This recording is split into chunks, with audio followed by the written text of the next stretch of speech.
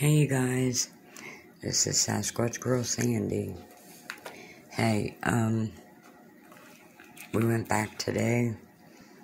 All the, well, 90% of the Thanksgiving food we took back on the 26th.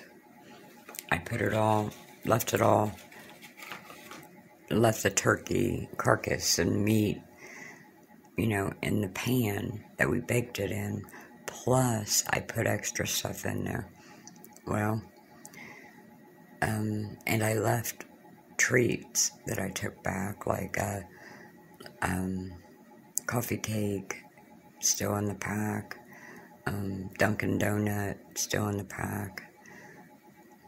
I, I mean, I took a few of those each back, and uh, most of them's gone, but two's still down there. And I left everything still wrapped up. But anyway, um, today when we went back, there was, uh, well, the, the carcass, turkey carcass itself was not in the pan. It was down the hill from it. The pan hadn't been moved. A lot of the treats were gone.